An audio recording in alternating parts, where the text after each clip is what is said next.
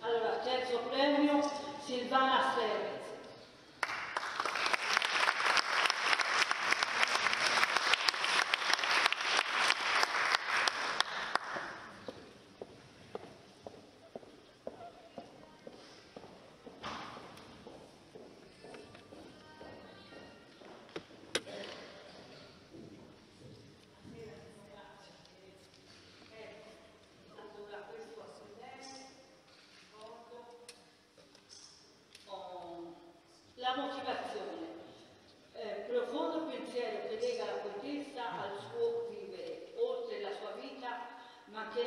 chi rimane dopo di lei il suo senso poetico nel quale ha improntato il suo essere donna.